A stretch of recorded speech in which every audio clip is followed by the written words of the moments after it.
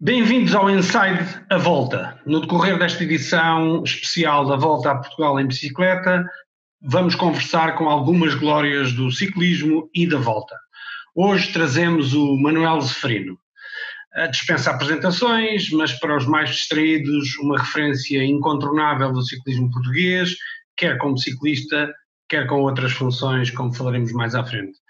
Bem-vindo, Manel. Obrigado pela tua disponibilidade. Começou bem a volta? A volta a Portugal começou, começou com a vitória de um amigo meu, Gustavo Veloso. Acho que foi, foi, foi importante para ele, e para ele e para a equipa. É? Hoje tivemos uma etapa espetacular, ontem também, ontem com a vitória do Luís Gomes eh, e hoje com, com a vitória então do Amar Antunes, que foi, que foi, eh, que foi distanciadora, digamos, para os bens direitos adversários eh, para os primeiros 10 classificados eh, da geral individual da Volta a Portugal, vemos que as coisas estão praticamente eh, decididas. Isto não há, não há muito a dizer. Isto, hoje o Porto jogou muito bem, da 52 Porto jogou muito bem, a equipa da FAPEL não teve poder para, para controlar a corrida. Penso que o Johnny também, que não, que não hoje não deve ter sido um dia muito bom para o Johnny tiveram que sacrificar o Carvalho, que fez um bom prólogo e para mim devia apresentar-se também em boas condições. E a volta resume-se ao Mar Antunes, ao Frederico. O Frederico é um corredor que sobe bem, todos nós conhecemos o Frederico, mas o Porto tem muito para onde jogar ainda.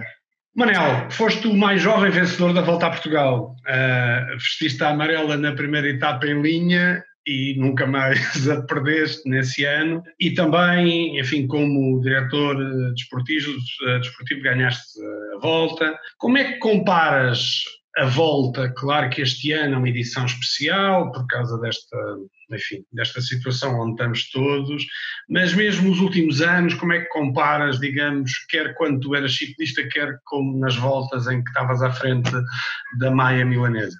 Bom, eh, eu estive bastantes anos, já estive 13 anos à frente da equipa da Maia Milanesa. Evidente que tive tudo na equipa da Maia Milanesa, tive equipas boas, menos boas, equipas muito boas, uh, mas o que me deixa, deixa-me recordações, todos os ciclistas passaram comigo, hoje em dia são todos meus amigos, mas aqueles anos de 2000, 2001, 2003, onde a volta a Portugal, este, para mim foram os melhores anos a volta a Portugal, onde vinham cá as grandes equipas a voltar a Portugal, vinham cá as equipas do Pro Tour, na qual a equipa da Maia Milanesa estava, estava inserida também, embora tivéssemos um orçamento muito reduzido, mas vinham cá grandes equipas. Foi a altura creio que concordas, não é? Foi a altura de todos os anos da volta onde veio melhores equipas estrangeiras, não é? Claro que sim, claro que sim. E, e, então tínhamos grandes equipas cá, grandes corredores.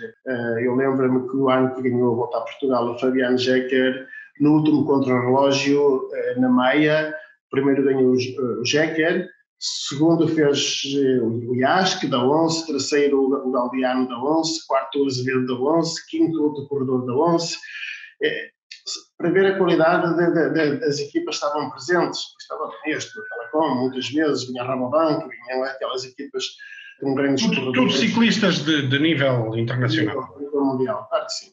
Manel, mas em termos do perfil da volta, como é que comparas, quer dizer, a duração, o tipo de etapas, houve alterações ao longo dos anos, não é verdade? Como é que tu comparas isso com a tua experiência? Volta a Portugal, eh, já corri a volta a Portugal, o ano que ganhei a volta a Portugal tinha 12 dias, depois já corri com 14, já corri com 18, corri com 21 dias. Eh, hoje em dia a volta, esta volta tem 9 dias, a volta normal tem 11 dias. Isto, eh, quando a volta está tão, foi tão reduzida em tempo de dias, a dureza da prova, digamos, os dias de prova, o acumulado da volta a Portugal é muito menor. E é evidente que uma volta de 11 dias uma volta de 21 dias é completamente diferente. Tu tiveste em, em grandes equipas, em super equipas, não é? Um, enfim, tiveste o Futebol do Porto, onde ganhaste a volta e era uma equipa excelente. Tiveste na Macro Jeans, no Sporting, no Lousa, etc. Comparas a, as equipas, as grandes equipas onde tiveste, quer dizer, a, a hegemonia, digamos assim, que o Futebol do Porto tem agora é comparável com isso? O que é que tu achas?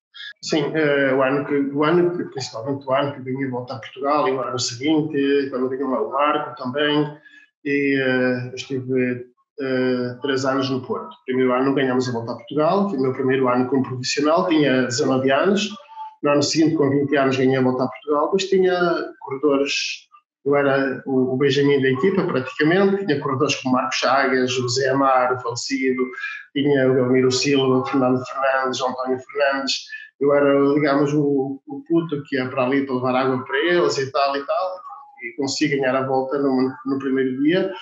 Uh, mas tínhamos, tínhamos um grande grupo, tínhamos uma grande equipa, era uma família autêntica.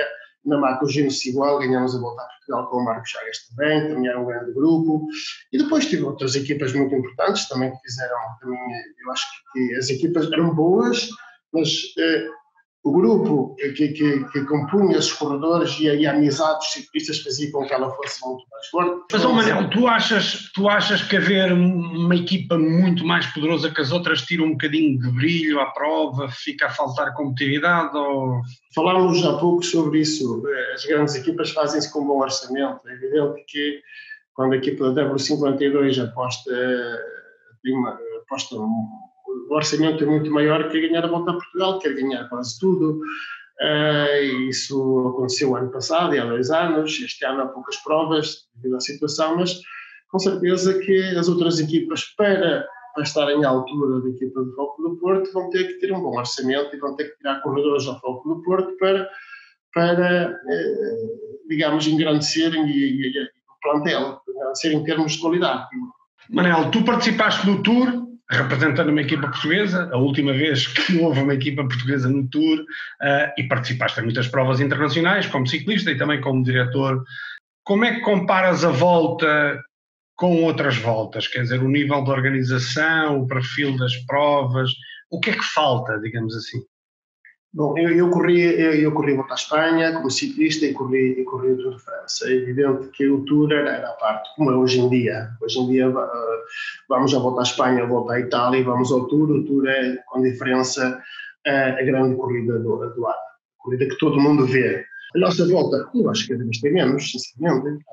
Não vamos estar aqui a tapar o sol com uma peneira. Claro. Nós, nas nossas equipas, uh, Volta a Portugal, mas já desceu de escalão é, ou tem baixado sempre de escalão, está num escalão muito pobre. Depois está colocada entre, cada vez há mais provas nos continentes, nos outros continentes, nomeadamente Austrália, nos Emirates, na China, em todo lado, na, na Turquia.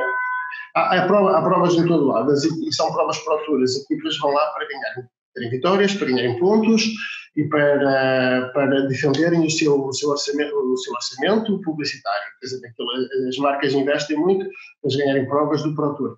Muito bem. Manel, muito obrigado pela tua presença no canal Inside. Foi um prazer estar contigo. Um grande abraço. Obrigado, eu. Um abraço para, para todos. Obrigado. Para continuar a acompanhar as conversas sobre a volta e sobre com outros conteúdos relacionados com o ciclismo, subscreva o canal Inside no YouTube. Obrigado pela vossa companhia.